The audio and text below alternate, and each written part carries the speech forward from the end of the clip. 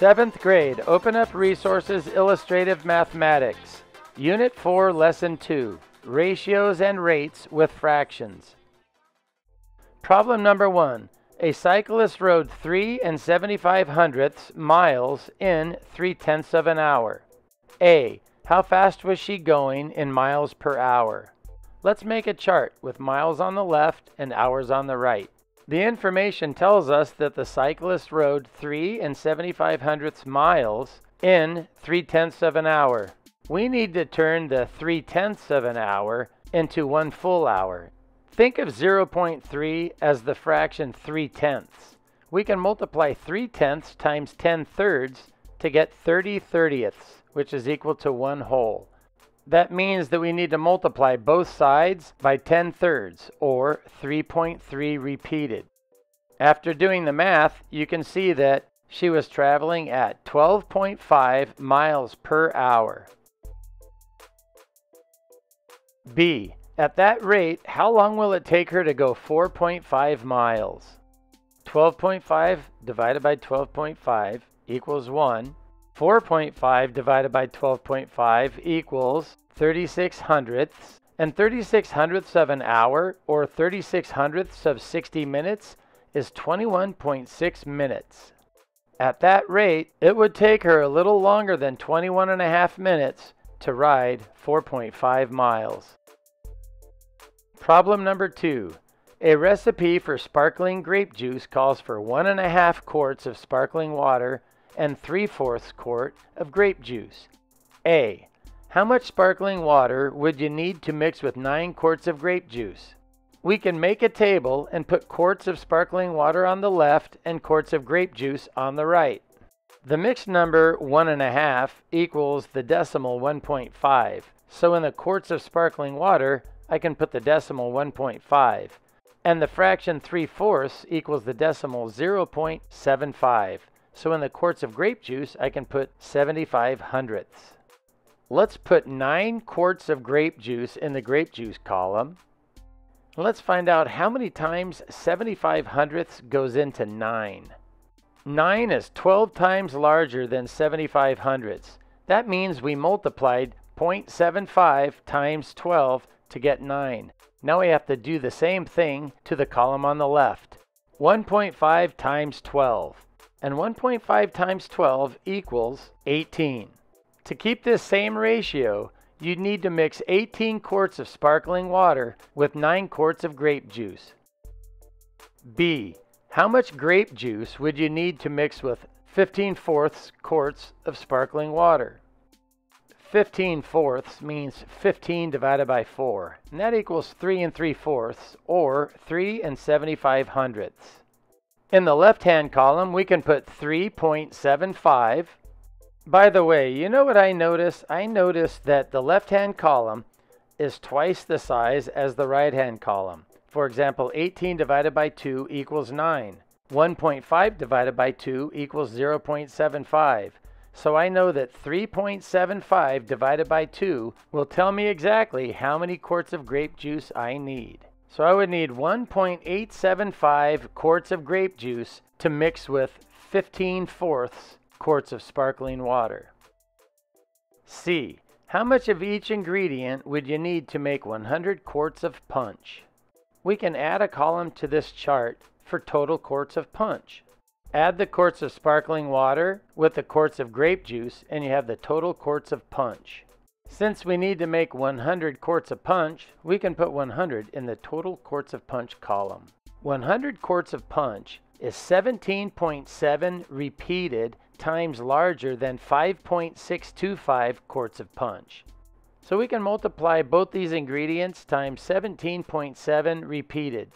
So basically, in 100 quarts of punch, you'd have 66.6 quarts of sparkling water. That's the same as 66 and two thirds quarts. And you'd have 33.3 repeated quarts of grape juice. That's the same as 33 and a third quarts of grape juice. 66 and two thirds plus 33 and one third equals 100 quarts of punch. Problem number three from seventh grade, unit three, lesson 10. A. Draw a scaled copy of the circle using a scale factor of 2. A scale factor of 2 means that we need to double the diameter. So the scaled copy has a diameter that's doubled the original circle's diameter. B. How does the circumference of the scaled copy compare to the circumference of the original circle? Let's imagine that the original circle has a diameter of 1 inch. To find the circumference, you multiply the diameter times pi. To find the circumference of the original circle, you'd need to multiply pi times 1 inch. To find the circumference of the scaled copy, you'd need to multiply the diameter times pi. If the diameter was 2 inches, you'd need to multiply 2 times pi. And that would be twice the circumference as the original circle. C. How does the area of the scaled copy compare to the area of the original circle? The formula for finding the area of a circle is radius squared times pi. The radius of the original circle would be 1 half inch, so the area would be 1 half inch squared times pi. 1 half times 1 half, or 1 half of a half, is 1 fourth, so the area is 1 fourth times pi, or 1 fourth pi. Let's find the area of the scaled copy. The radius is 1 inch, so the area would be 1 inch squared times pi.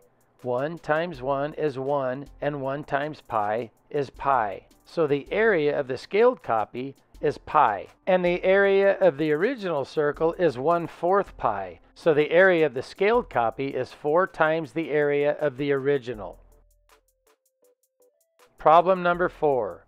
At a deli counter, someone bought one and three fourths pounds of ham for $14.50. Someone bought two and a half pounds of turkey for $26.25. Someone bought three eighths pounds of roast beef for $5.50. Which meat is the least expensive per pound? Which meat is the most expensive per pound? Explain how you know. Let's create charts. Let's put pounds of meat on the left and the cost on the right. 1 and 3 fourths is the same as 1.75, 2 and a half is the same as 2.5, and 3 eighths is the same as 0.375. We need to figure out the price for one pound of each of the meats.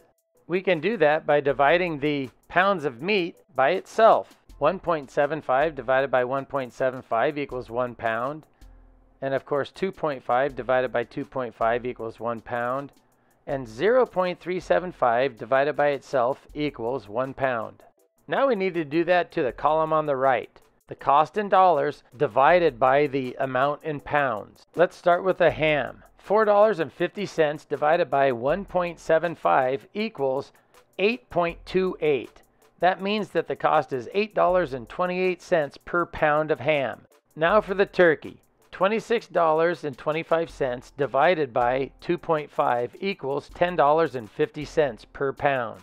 And lastly, the beef. $5.50 of beef divided by 0.375, that's the most expensive at $14.67 per pound.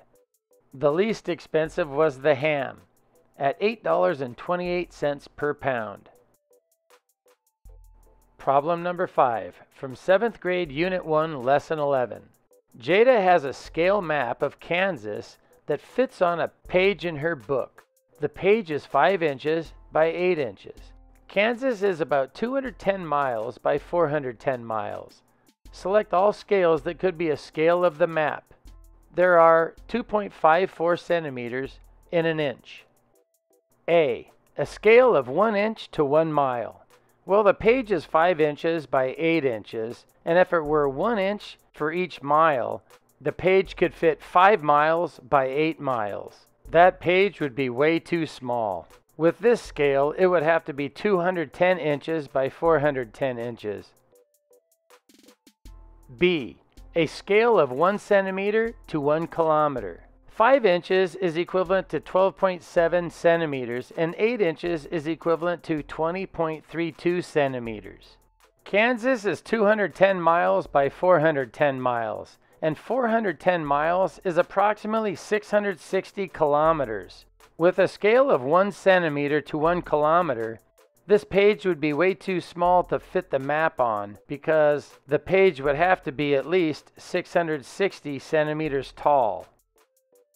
C. A scale of 1 inch to 10 miles. Since this page is 5 inches wide, it could accommodate 50 miles, and it's 8 inches tall, and that could accommodate 80 miles. Again, this page is way too small because the map would be 50 inches wide and 80 inches tall. D. A scale of 1 foot to 100 miles. That would mean that the page would have to be over 2 feet wide and over 4 feet tall, so that wouldn't work either.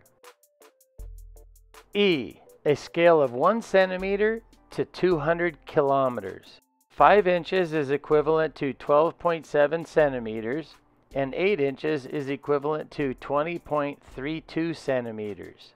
210 miles is approximately 338 kilometers, and 410 miles is approximately 660 kilometers.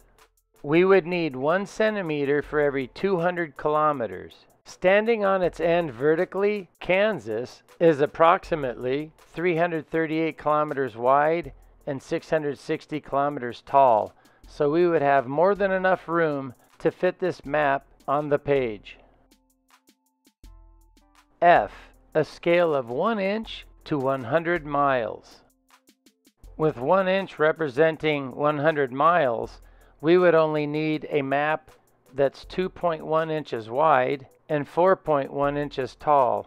This page is also large enough for this scale.